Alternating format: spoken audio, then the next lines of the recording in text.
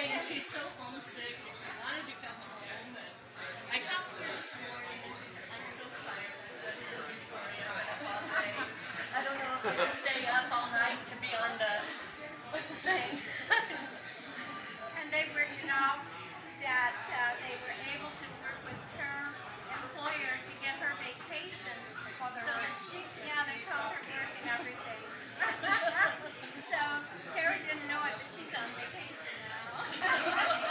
Did the surprise work this time? It did work this time.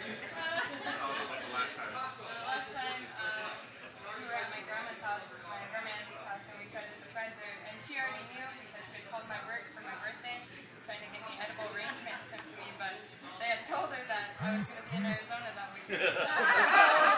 I tried to act surprised, but What are you guys I don't think anyone knew that until just now, Jennifer. What are you guys gonna do now?